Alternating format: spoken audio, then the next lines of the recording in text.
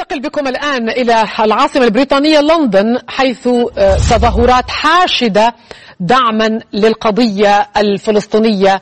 إذا الشوارع ممتلئة بالمتظاهرين الذين خرجوا من أجل دعم القضية الفلسطينية ودعم الفلسطينيين في غزة بعد نحو أسبوعين من أحداث السابع من أكتوبر. وما قامت به حماس.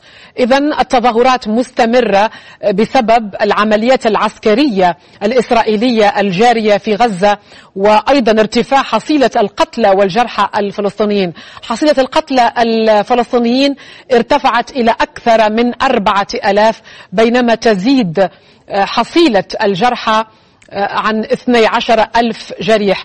شوارع لندن كما نرى هنا من الجو أحد شوارعها ممتلئ بالمتظاهرين الذين يدعمون الفلسطينيين ويشجبون أيضا العمليات العسكرية والحرب في قطاع غزة وأيضا التهجير للغزيين من الشمال إلى جنوب القطاع استعدادا للاجتياح البري الذي تنوي القوات